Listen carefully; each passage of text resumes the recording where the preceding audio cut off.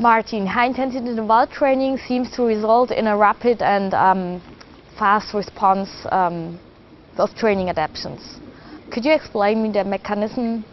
There's lots of different mechanisms. We know, though, that high-intensity interval training stimulates a lot of the same molecular signaling pathways that we see after endurance-type training.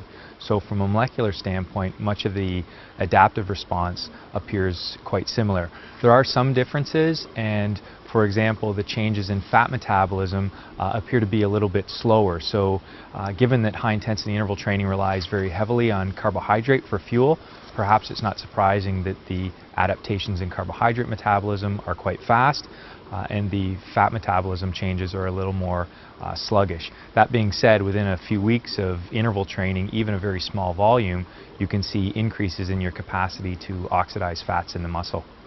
Is high intensity interval training an exercise type for everybody? Uh, certainly any serious endurance athlete is already incorporating HIT into their normal training program. We have been looking at other populations including uh, people with type 2 diabetes, metabolic syndrome, and even in those special populations or clinical populations, we see that number one, they can perform interval training. For example, even after two weeks of this type of training, type 2 diabetics lowered their 24-hour blood sugar levels, which we know is associated with positive health outcomes. So obviously, applying interval training to different groups, you need to uh, properly monitor it and use some caution, but it can be widely applied to many different groups and they can benefit.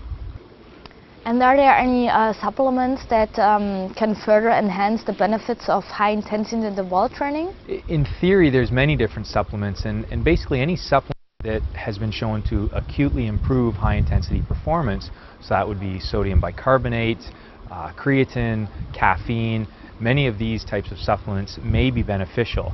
Uh, the studies haven't been done to look at the chronic training adaptations, although there's a little bit of evidence that sodium bicarbonate ingestion chronically may improve uh, performance even when subjects do work match protocols. So even though two groups of subjects might do the exact same high intensity training, sodium bicarbonate has been shown to result in a further improvement in performance. Uh, the mechanisms for that are, are not clear, but there's some evidence from rat studies that sodium bicarbonate actually improves the, the, the function of the mitochondria, and that might be a potential mechanism. So you told me that you are doing um, high intensity uh, interval training for yourself.